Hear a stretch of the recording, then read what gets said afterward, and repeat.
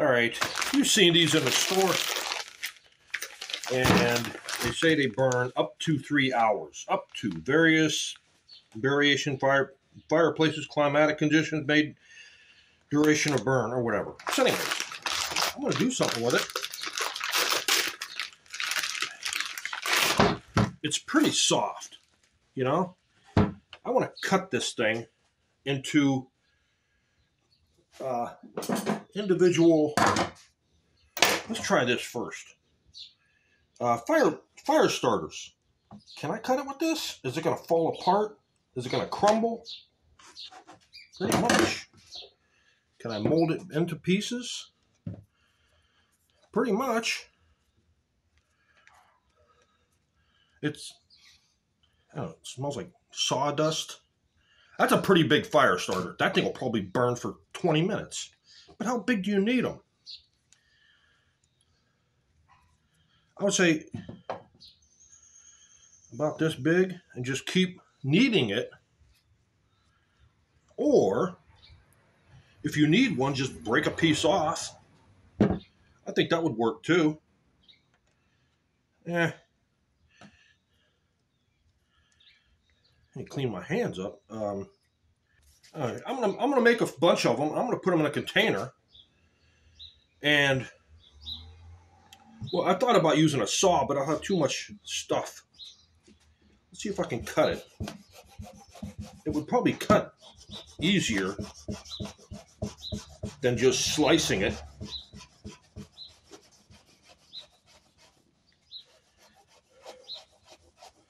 If I use a saw, I'm going to have a bunch of dust. See, that works. If you push it back together. See, I think that works a little bit better. Maybe four parts, huh?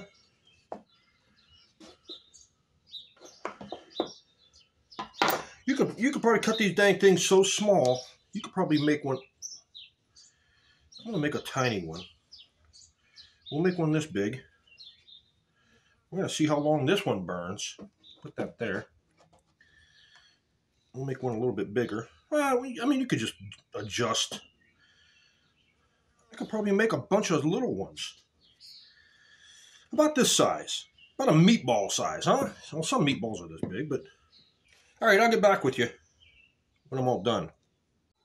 All right, what I did is I just cut half of it and I molded it into balls, but then I just broke it all down and I'll take a handful out of here and squeeze it together and make a I think it was easier doing it this way. So I'll make all the rest of them like this. Now that that's done, I got 68 of them. And I could have, you know, made two or three out of this one. But I, I, I just wanted to, to see. I'm, I'm not good at meatball maker, so don't criticize my work here. Uh, I just wanted to try this out for stupid fun.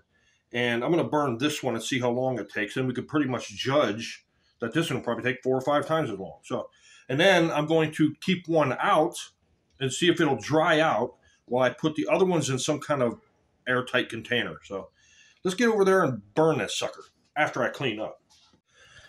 I got both of them here. So let's start the timer and light these up. How easy are they to light? They're, they're not too easy to light. Huh. Look at that. Look at that. It's trying to. Hmm. There it is. Finally. Let's light this one. Takes a little bit, you know? Come on. Jeez. It's like it has to warm up. Getting there. Your finger will probably end up burning from the lighter being so darn hot. Come on. There you go. No. For Pete's sake. For the sake of Pete. No, they, that one blew out. They both blew. Ow, that is hot.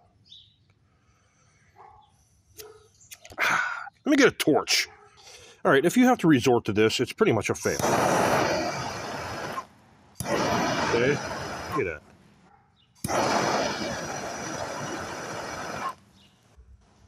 Is it going to burn?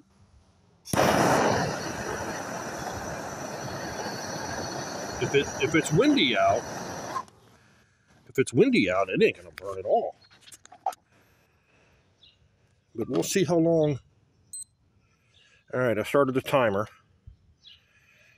I think if it, if if it gets started, I mean, I could have molded those into like long sticks, like a long tube or something. It'll probably burn easier. I don't know.